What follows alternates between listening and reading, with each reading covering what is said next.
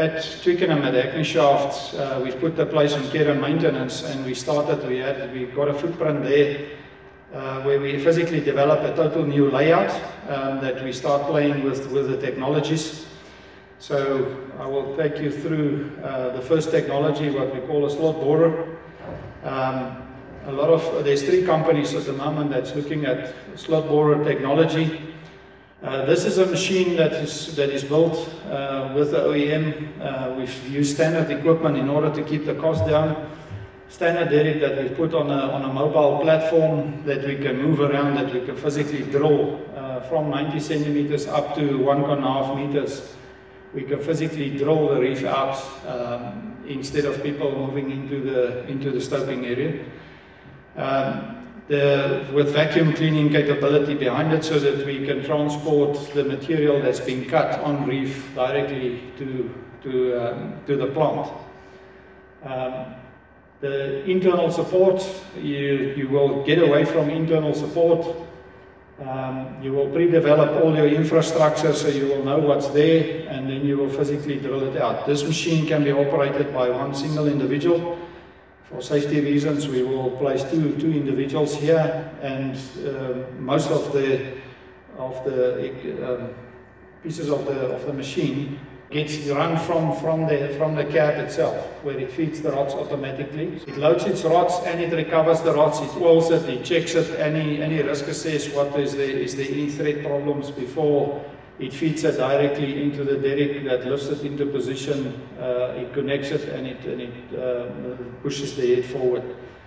Um, we've looked at the lay mining layouts and a lot of other things, how we can improve this. We're working on another version now um, where vacuum cleaners is our biggest constraint at the moment. The amount of tonnage that we're producing with this machine, the current vacuum cleaning capabilities can't handle that. The next technology is fuel cells. We've, uh, playing around with fuel cells on our ULP equipment. This is a ULP dozer. Uh, we'll get to that just now.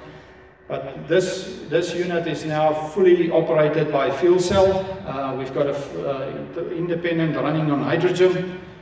Um, and you can basically charge this unit now and run for two full shifts without recharging uh, this unit and we're also not using high pressure hydrogen that is significant change to, to all the motor companies in the world. It's much safer for using it underground.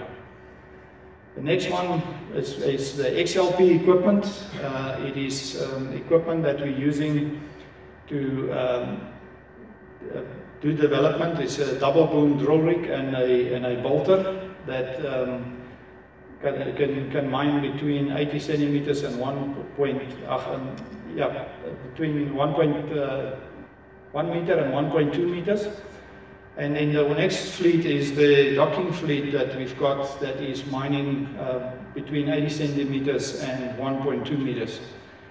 We physically have got quite a few of our ore bodies in narrow reef that's running at 80 centimeters and uh, the, the aim is now to mine right up to just 80 centimeters. Um, you will see some of the equipment underground operational already. Uh, this was our proof of concept.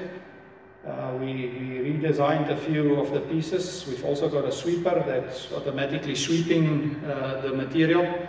So effectively with a, with a, a drill rig, a, a bolter, a sweeper and a dozer, uh, four pieces of equipment and a high-speed charger, we, we're planning to, to mine.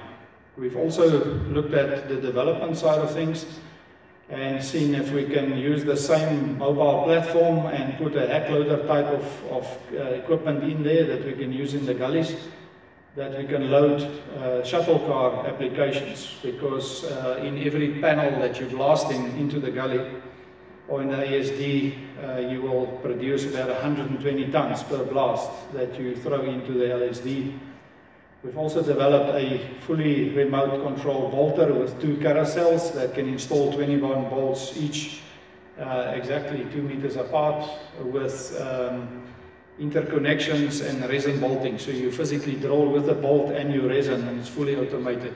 So you load those two carousels, you put it in the panel and the person remotely installs two lines of, of uh, hanging roof bolt support. The drill rig, um, the drill rig has got three, three booms on it, so you drill three simultaneous holes. It also got its challenges, especially where you've got rolling reef. Then you really need to know what's about uh, with, your, with your operators. But um, it physically drills three holes in the time of what one, one, um, one hole gets drilled right now. So it significantly reduced the, the round and our aim is to, to physically uh, blast four panels in a 24 hours with the same, same fleet. We've did identify that uh, up to 30,000 uh, tons per month, uh, your LHD is quite effective. Between 80,000 to 100,000, your belts is actually not cost effective, but you need something better than LHD. So we developed the first battery operated shuttle car, 25 ton shuttle car, 1.6 meters high that can take 25 tons uh, at a time. Uh, this is just a, a, quick picture at Gerotek where it, where it passed all the brake tests and all that. This is the biggest piece and heaviest piece of kit that's running around in the world on batteries. It's fully battery operated. So we want to get away from, from total diesel. We, the idea is to build actually an eco stope where you don't use any diesel. And the reason for that is it makes a 30% improvement on your refrigeration and ventilation costs for any new project that you roll out. So it's a significant benefit to go to, to, uh, to electricity instead of going to, um, to diesel power.